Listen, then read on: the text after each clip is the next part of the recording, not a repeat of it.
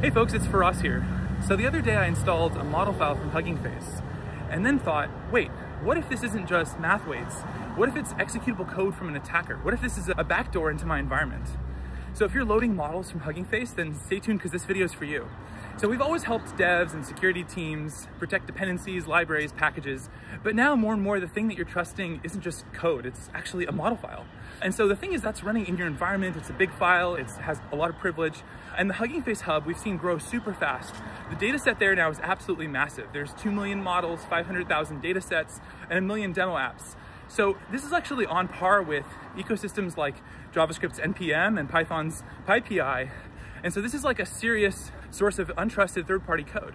And so models carry all the sorts of the same risks. There's deserialization attacks from pickle files, there's payloads hidden in TensorFlow or Keras layers, and there's also malicious metadata hidden in GGUF and Llama file formats. So we at Socket asked ourselves, if we protect code supply chains, why not protect model supply chains too? So that's why we built Hugging Face support directly into Socket. If you're a Socket SCA or ThreatFeed customer already, then you get this for free. So it works via a simple API.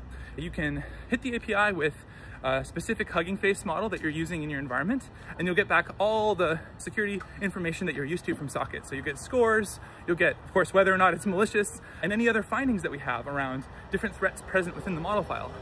And if you're using AI BOMs, which are to be fair, not widely used yet, but an exciting standard similar to an that can help you capture all different AI models in your environment. You can also send that to us as well, and we'll send you back all the results for those models. So check out Socket by visiting socket.dev to see how you can start scanning your Hugging Face models with Socket today. Thanks, guys.